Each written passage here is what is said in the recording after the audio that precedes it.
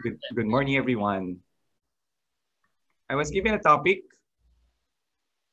that is in season, Easter joy um, amidst suffering, amidst uncertainty. Earlier, we were worshiping the Lord and the Holy Father. I connected to the Holy Father's recent audience. He was saying this is the essential task of the church. We belong to the large community of believers who are experiencing this time of the year, as we celebrate these 50 days, a different kind of joy. And we call it the Easter joy. My presentation, or my sharing, is simply first, what is Easter? Second, what is joy? Third, what is special about Easter joy? And then last but not least, how can we put this into practice? Okay, so I, I prepared a few slides so that you can follow you know, with the material I have here. Okay. Okay, we're celebrating Easter, and we all know that this is really about the resurrection of Jesus. We know this because the Gospels tell us that there was an empty tomb and that he actually appeared for 40 days. It's called the Pascha or the Pasch, because it's the passing over of Jesus from death to life. And early on in the English language, we have the testimony of Saint Bede or San Beda, who evangelized in English and this described the month of April, Eostre, dedicated to Eostre month, and that came that uh, evolved into the Easter celebration.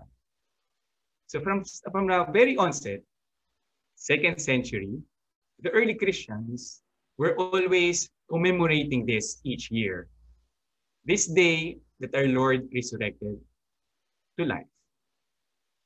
They wanted to celebrate it and prolong it for one whole week, and we can call this the Easter octave. Considered as one day in a liturgical calendar to celebrate all the apparitions of Jesus. And as the evolution of the Easter octave came about, it was prolonged even to 50 days. Adequate because there is a celebration of the coming of the Holy Spirit we call Pentecost, which ends the Easter season. If you try to think of it, why Easter is so important for the Christians and how is it manifested? It is in the number of days. Really. It is so important we are an Easter people because we are happy people. We are joyful people because we are witnesses. Our faith is based on Jesus Christ passing from death to life. He has conquered sin and death. And so it is the most important season. It has the longest number of days. Think of Christmas. You know the song 12 Days of Christmas, I suppose. There are 12, actually. 12 days of Christmas in the liturgical calendar. Advent is four weeks, 28. And then a preparatory uh, portion is also dedicated to sift, purify ourselves. Quadragesima, 40 days of Lent. Easter is above everything else. On top or, or, or more compared to the rest of the other seasons. So in the in the liturgical calendar itself, it is so important. It is so important to celebrate always the Pasch, the passing over of Jesus from death to life. Each time we celebrate the Mass. And in the year, in fact, we commemorate it even all the more this season. You also see that Easter will be manifested that joy in the so many renewals. Easter Vigil, I'm sure you connected online to a celebration. We renewed, in fact, our baptismal vows. And it's the most adequate season as well when people are baptized. Easter Vigil. They are clothed in white because they now have a new life child is no longer a simple child, a human being, an image of God. He or she has become a son of God. And that's a big difference because he has inherited all the promises that are fulfilled in Christ. which includes, which includes, if the child dies, he will be forever living in our Lord Jesus Christ. Everything that from, from, from uh, baptism onwards will be connected to Christ.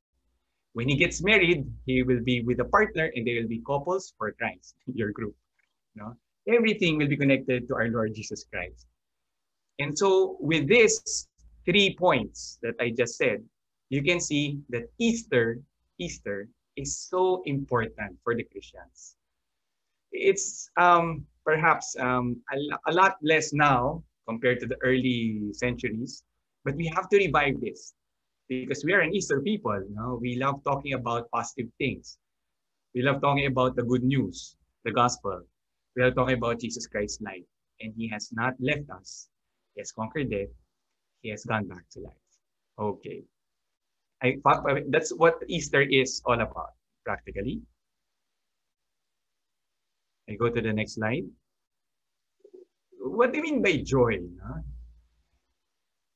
Well, first and foremost, I think for all of us, it's obvious that joy is a feeling. It's a passion. Or if you want to talk a, a more a colloquial term, it's really an emotion.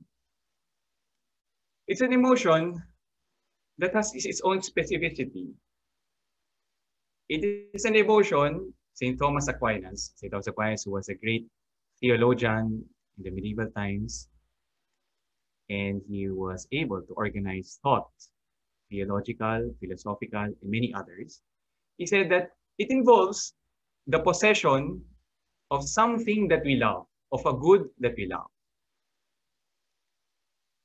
It is no ordinary emotion because it's an emotion, he says, that belongs to spiritual beings. The animals, for example, can possess those things that they love, but it remains on the sensual, on the sensitive appetite. The dogs, for example, when they get their bone, know, they experience a pleasure, but that's not joy. St. Thomas calls it delight. Joy is of a different plane. It is a spiritual pleasure. It's compatible now, understanding that joy is on a different plane, is a very spiritual. It's compatible with so many other things. You can experience, for example, pleasure, sensitive pleasure, without spiritual joy. The devil will always trick us into this. He will always want us to go into pleasures so that we forego the eternal joy that God promises to us. At the same time, it is also possible to experience pleasure, say as a corollary, and sadness. Our Lord is giving us over Easter a very different type of joy. It's an act, an effect of love. Aquinas would also clarify that when we experience joy, there's nothing really, but it's an effect of people in love because they possess that they love, or the item that they love, they cherish it, it's an effect of the virtue of charity. Now, looking at the trajectory of how we define joy, you know this, you know, you know that in order for you to really say that you genuinely love the other person, it's because you have sacrificed. You have given up something. And for the spouses, you have given up your life. So this is compatible, that joy that experience as couples, compatible with painful circumstances through thick and thin, through rich and poor, etc., and many other circumstances in life. Similarly, joy also in the general plane is like this. In the same way as love is, is, is going through or passing through or is experienced even the moments of difficulty and pain, Joy is also possible or compatible with painful circumstances. I think you're, you already know where I'm going to because we are experiencing something different, totally unheard of right now. We are enclosed in our rooms. There are people suffering. There are people dying. And there are so many in the hospitals right now. There are some relatives and friends of us who have asked for prayers from us. And there are so many people, in fact, also having financial troubles. Can I not be happy during this time? From what I said, from what Saint, how St. Thomas analyzed it, definitely it is compatible. It is compatible. Why? And this is the main thing. Because joy is the possession of that good. And for us Christians, for us, that good, the Christian joy, is none other than God. Our joy is based on a very deep reality, very profound. We possess God. I'll elaborate in what now is called the Easter joy in the next slide. What's so special with the Easter joy? Uh, if joy is a possession of good, we always possess God. And how come we have to be happier, quote unquote, during Easter? Well, my brothers and sisters here in this room, it is primarily because it is in this time or during this season that we celebrate that victory. That victory that spells the big difference that Jesus is God. St. Paul would say, our faith is possible because Christ has risen from the dead. That victory of Christ over sin and death. Which means for us that we can, as other Christ, inherit that reconciliation with the Father, with God the Father. We're celebrating that for 50 days. And then, because Christ appeared to us, and you will see it in the readings of the Masses, the readings of the Sunday celebrations, Sunday liturgies, you will hear it being proclaimed and explained throughout the season. There is a new body of the risen Lord a different one. It could pass through many things, many types of matter. It can eat when it wants. It can be with his beloved when it likes. There's a new creation that has already begun. It's a new way of thinking things. And so families, I go to the next point, what's so special, ever since families and the communities will radiate, have been radiating with the perpetual and Easter joy born of this reality. Now, I think it's also important when we experience joy, it's not something individual in the church. It's not something isolated. So our joy is shared in the family. Now think of this because we are in an enforced, we are forced to spend time with the family these days. And it's a great opportunity with the people we love, with the people we enjoy to be with, likewise, to experience the, this Easter joy. Far from ignoring and being naive, very important point. This is the last, the third point. First point is this. And then second, it's about the collective. Last point, it is also important because some people would think of us, they would accuse us, you are being naive in the situation. You are ignoring it. There are so many people suffering. Why do you rejoice? It is precisely, sorry, not descubrir, discovering that the Paschal joy, Easter joy, comes from the cross and its fruitfulness that makes us so happy. The Easter, okay, and this is what I, wanted hopefully to to to uh, how do you, um, uh, make this very clear. The Easter did not change so many things in the lives of the apostles. Bowie was already um, alluding to it earlier. No? Um, they encountered difficulties. They were being harassed by the authorities. They also were persecuted and many died, with the exception of St. John of the 12, Matthias replacing Judas, they all passed, dying for Christ. They experienced discrimination and many other things. They experienced uncertainty. They experienced financial crisis, etc. But they experience joy because they already saw that in these difficulties, there is merit.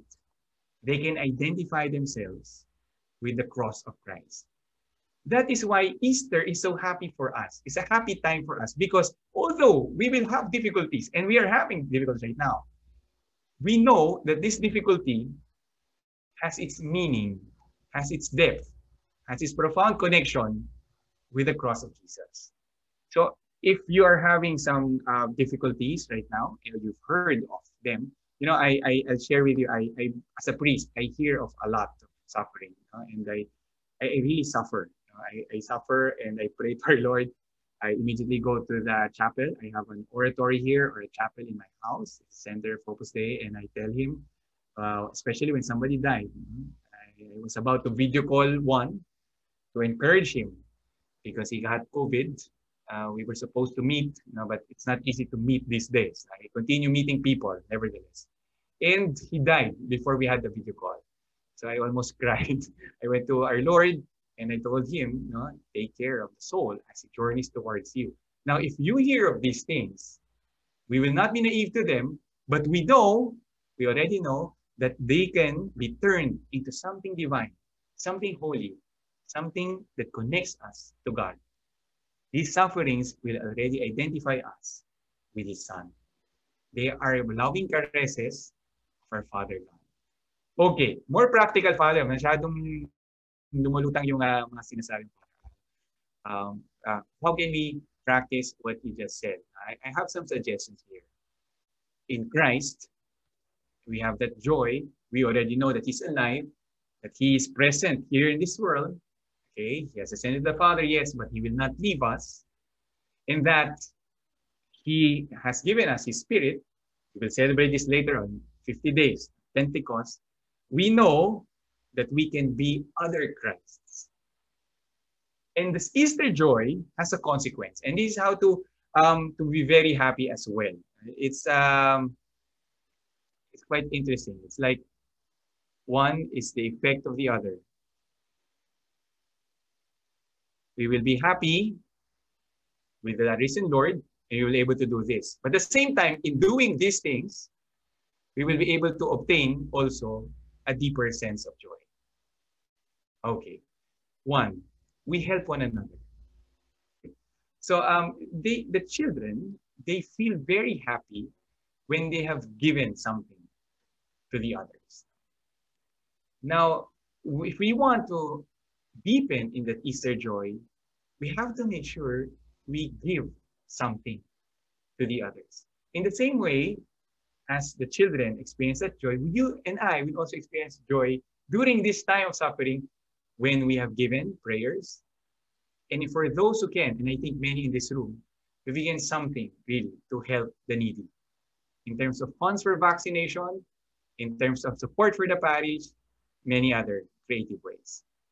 Second, this Easter joy leads us, and we could be very happy also with this when we listen.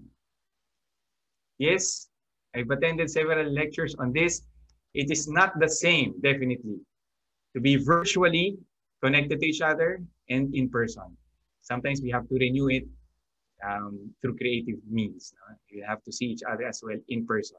But this technology that we have right now enables us to listen to one another, to listen to each other's difficulties, stories, and many others. Our Lord Jesus Christ, for example, experienced a lot of joy every time he listened to the apostles. When he listened to Jairus, for example, who was in need because the daughter was dead already, he listened to him and he went to his place. This officer of the synagogue, he raised her up and the apostles believed, etc. Many, all those miracles. Third, through the Easter joy, we're able to love with the same love of God. Now, this is a bit challenging. This is very difficult, perhaps. How can we love? How can we love during this time? I understand when persons are different, including spouses, including those persons here, there will be tendencies for clashes. There will be tendencies for or possibilities of, of, of uh, or wanting to divorce. I've heard of so many households. They're thinking of divorcing already because of the pandemic, because they, they live with each other and you see, you magnify the defects of your spouse. Definitely, you're a human being. Now, understanding that the Easter joy as well has given us the great love of God you and I can also live Easter joy by trying to understand, to turn a blind eye, to close your eyes to the evil, that tolerating the defects of one another. And in this way, we will be able to love. Preparing ourselves that when we go out, the Holy Father was uh, adamant to this in his letter encyclical Fratelli Tutti, no? all brothers. We can we can enclose ourselves in this time and be very sad, isolated among ourselves. So the Easter joy would help us to love each other, and loving each other would also give us joy. Try to think, try to think of your children as well as I say this. Because many of them, I continue to talk to teachers now, Southridge. They are mentally challenged during this time. I think what would sustain them, boys and girls, is the affection that you, you show them. These are very difficult times. You cannot imagine if we pass through this during our, um, our childhood. Now, but with your love, with your creative ways of interacting as well, I think they would go through this, this difficulty. Serve, fourth point, we serve with the sentiments of God. We have the image of the Holy Father here without choosing anyone. The image of the Holy Father embracing the deformed person. Holy Father, uh, the, the, the Lord washing the feet even of Judas. I would not elaborate on that because there are many ways of serving at home. How do you, how do you experience joy? No, you serve your spouse. you serve your children. You serve one another. You serve the others in the community. Uh, okay. We see ourselves, and this is also um, something we discovered already earlier, in this new world, we think of good things these days, and Easter joy allows us to contemplate these new realities. Consider heaven in your conversation with Jesus, often during these times. Think of the new man that you will be, your best self. You're capable of being that. Last but not the least, is more in-depth. We see life from the depths of God. Easter joy allows us to see things differently with a supernatural outlook Things will pass. He is in command. He's in control, as the Holy Father has told us already last year. This is a storm. This is an uncertain, uh, of a certain duration, but it will end. And Easter already showed us who's the winner. It's God. It's our Lord Jesus Christ. We need simply to allow ourselves to, that we be worked upon by Him. We abandon ourselves, especially this time, knowing how or what are those exact things he would suggest to us in specific. The Holy Spirit will for us if you allow him that he talks to you, what exactly you would do to maintain the Easter joy. Thank you so much, Father. Actually, the time went by. We didn't really notice that it was 30 minutes. It was perfect, actually, the length of time. Of okay, thank, thank you. you so much. okay. Um, are there any questions out there? For, from anyone?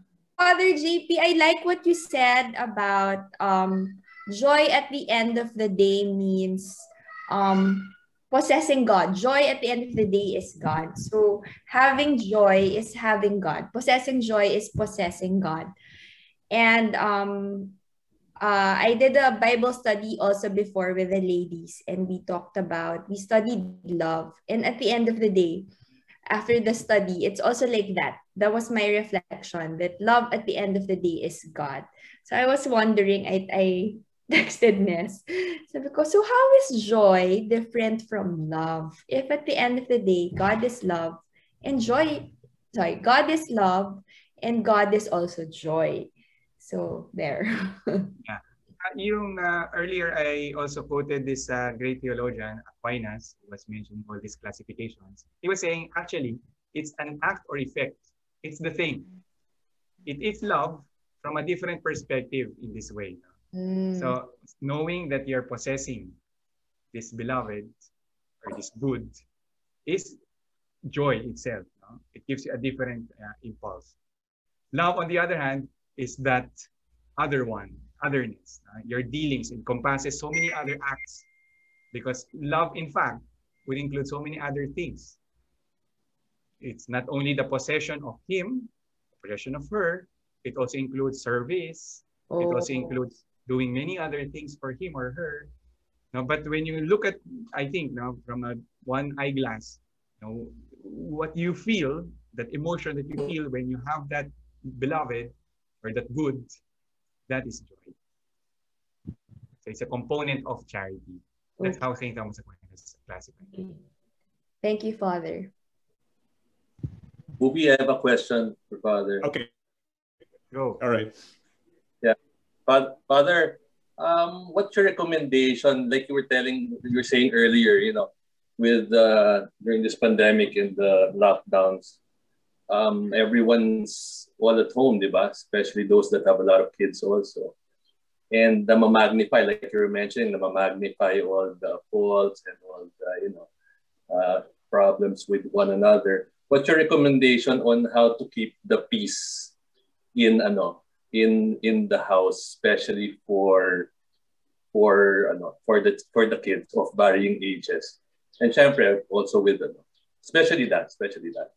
Yeah. Okay. Uh, normally, yung ano, the cause of conflict of children, in my short experience, is mababaw, no? Um, they are items because of personality concerns, or because of interest, or because of envy. Yun yung mataas, no?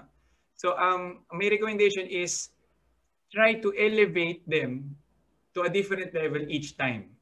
Meaning, something common, a conversation that would make them think out of the box or out of their own world. It's a way of distracting, yes, but it also would make them so united. A common thing that could help them talk about, for example, a movie, a movie that unites them that they both like. Now, meaning uh, we seek common interests during these difficult times of showing or, or, or realizing the differences. No?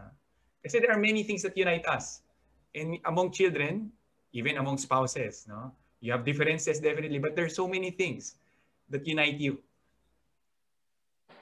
Go into those, go into those, no? Um, your good memories, for example, nostalgia, no? In, in this uh, situation or scenario we're experiencing, we need positivity, we need good thoughts. And I think the Lord also wants us. Kasi we will tend to really, you know, as uh, human beings with uh, concupiscence and all, no, evil tendencies, we can really um, be very uncharitable. And when there's somebody uncharitable, it destroys really peace. Uh, so to, to win that person is to go, approach, and then something that unites you with him. If it turns out to be kids disagreeing, disagreeing, disagreements, no, seek what unites them. A different topic, or a, an elevated conversation about ideas, perhaps. Kasi ano naman, simple lang yung pag-aawayan nila normally. Yeah. Applies to ano, it applies to to spouses. Nababawa rin madalas. I, I my experience. Nababawa pag-aawayan nyo, pinag-aawayan nyo. um, it's, it's, yeah, it's the nature of, ano, of love, I think. you will fight over simple things. Okay. There's a question Thank here, you. Father, um, Yeah. that was posted. And the question is, Father, what advice can you give those people who have momentary absence of joy amidst everything that is happening? And second, for those people who experience major losses due to death in the family, what advice can you give for them to hopefully quickly return to becoming Easter people while in this most difficult time in their lives? Yeah. So um, there was a word that I I love there, momentary. No, momentary absence of perhaps the joy or the pleasure, no, in something. So what can we say to those people na parang they they they lost it, no? They lost the joy and peace. Um, the first uh, thing really is um, sorry for saying this because I'm a priest and and I really discovered this the the solution it's it's our lord our lord no um a connection with him a connection with him somehow could keep the ball rolling kasi uh, joy is a gift eh. it's uh, it's in fact called in theology a fruit also of the holy spirit eh. the fruit of the holy spirit there's some grace there so um if a person seems to be uh, absenting uh, meaning lacking joy Let's pray for that person. And same time, in one way or the other, if he's a kid, one Hail Mary or one Our Father, know, that he tries to connect. And then second, second, um, I, I think I detect no, in the question, these are children or adolescents. Um, I would recommend uh, that they rest in the real sense. Because they are fatigued right now with online. No, it, it changes the way their way of thinking. No, and, and actually, it's not restful for them. Even if they're playing games already, it's they're stressed. And they always say, I'm stressed, I'm stressed, I'm stressed. I'm depressed. Later on, they will say, I'm depressed, I'm depressed, I'm depressed. So um, learn how they could rest creatively. Now, very, very difficult. Is very difficult because they are uh, addicted to it. I know. Each uh, mother or father, I guess, will have to find ways so that they could rest in a different manner, not online. Okay. Um, and second, uh, those are my practical advices. But of course, this is very difficult. No, if it's an adult, if an adult, normally I would recommend, aside from prayer, consultation, consultation with uh, or advice from somebody who has some dedication or commitment to the spiritual life. You know, a conversation where he could open up normally helps. Because that's that sense of joy that is lost points towards that, you know, what is it that he lacked? What is the good? He, he doesn't realize that he has God or he has the potential of having God. If there's a lot of guilt, then there needs to be uh, confession. And in the meantime, for now, an act of contrition that will give him peace. Sometimes the pre, I, I encourage, let's say an act of contrition now because your parents won't allow you to come here. Okay, let's act of contrition. And then you know that grace is there. And sometimes also professional advice could help, could be of help uh, if it's a momentary that is prolonged. Okay. Um, now, second question: Those people experience major losses due to death in the family. What advice can you give for them to hopefully quickly return to become Easter people when this most difficult time in their lives? Actually, this is no, no, no. Um, there's no easy answer to it. No, um, when we experience, a fr- uh, we have the, the the friend who experienced death uh, we cannot say the time of grief or the duration of it. We cannot uh, really uh, put it in a box. It has to be one month or two months. It really depends. So the best way, I think, for us is to accompany the one who grieves. Okay? Um, and just that, pray that they overcome it. There's no shortcut. Eh? Sometimes the grief will always even pass for two years. No, and, and, and, sometimes talking about Easter joy, hammering the idea to him or her is not the way because it turns him off. No, you, you talk about uh, good things all the time, and then um, it's creatively accompanying or walking with him or her or with the couple. And there's no easy solution to that. Sometimes it's just talking about something. Sometimes um, interacting. I, I know Southeast families who interact these days. They trust each other and they gather they gather after vaccinating or whatever they they they meet no but very few very few families uh, meeting together. Anyway so there are ways i think that uh, which um, needs a bit of creativity these days no? Returning for the person who have lost um, beloved loved ones no? Uh, i think there's no easy answer. We just have to accompany them and pray that they they could return The Lord is so gracious, so good. He helps them. No? The disciples of Emmaus, if you recall that, that episode, they were downcast. That's the gospel of tomorrow. They were down. They could not see Jesus. And for those souls, I think what really is necessary is Jesus goes to them and makes them realize that He is walking with them. We cannot do it ourselves. No? It has to be Him, our Lord. Thank you, Father. That's most help- helpful. Thank you. Okay, thank you so much, Father. Thank you very much. Thank you. Thank you.